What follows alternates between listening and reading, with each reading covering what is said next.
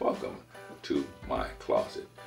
One of the things that I love doing is to have quiet, intimate time with God every day, and sometimes several times, multiple times a day to be able to break away because we know that this world is so crazy and we get distracted in so many different things. But being able to remove yourself. Now, this scripture, Matthew 6 and 6, is not just necessarily talking about going to a closet, but that's the way like I like to use that, the inner room. And I don't always have this inner room with me. And so, but I have the inner room within me, which is something that is a blessing. Okay, we are on day number 4, January 4th, 2022. A reading from this book. Here's a scripture of the day Jeremiah 31 and 34 from the NIV version. No longer will they teach their neighbors or say to one another, Know the Lord, because they will all know me, from the least of them to the greatest, declares the Lord. For I will forgive their wickedness, and I will remember their sins no more. Hallelujah. Amen. Let's read the reading. God of forgiveness, it's so hard for me to think of you as forgetful. Yet you have promised that once I confess my sins and receive your forgiveness, you no longer give thought to my past.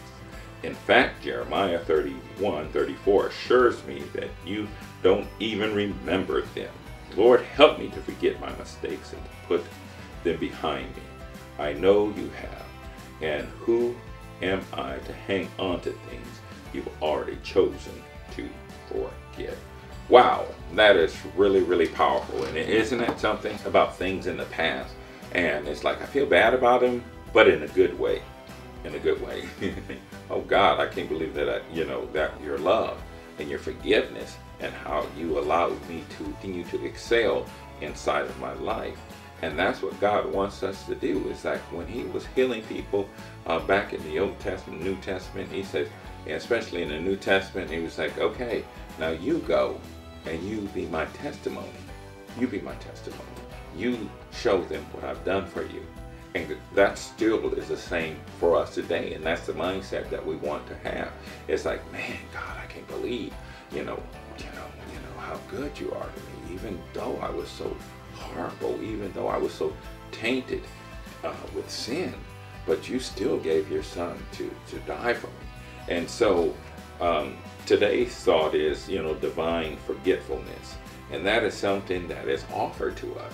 And many times I did Christian counseling for, oh man, 30, 40 years or something like that. And so, and that's one of the things, uh, major things that i've work with, and I work with myself as well, and anyone I deal with, is that because people have a hard time, you know, with receiving God's forgiveness, and even with that part, you know, saying that God forgets, and it's like, well, no, God really doesn't forget. You know, He knows, but He doesn't hold that against us anymore.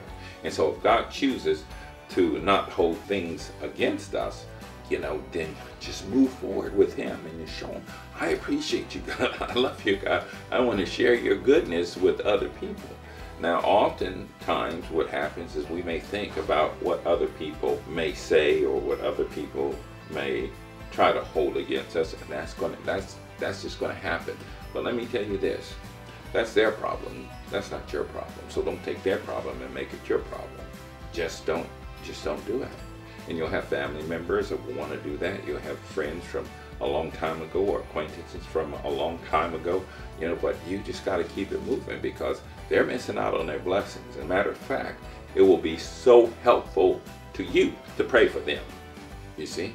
And that's what God wants us to do. We're going to have enemies, and God says, okay, love your enemies. Okay, pray for them who despitefully use you. And so keep that in mind. You want to keep moving forward inside of God.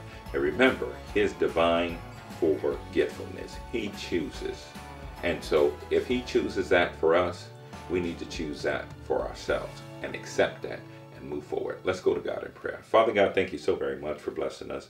And we're thankful that you have left your written word down here and so many examples how you forgive over and over and even it came to the point where Jesus Christ came and he died for the sins of the world. And that includes all of my sins. It includes all of the listeners' sins. It includes all of who have ever lived and those who are currently currently living and those who will be born.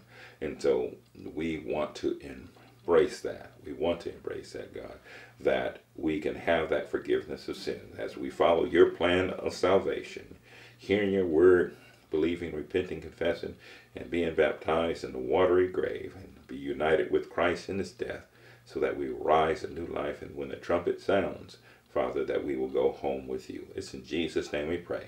Amen. All right, see you in the next video. Welcome to my closet.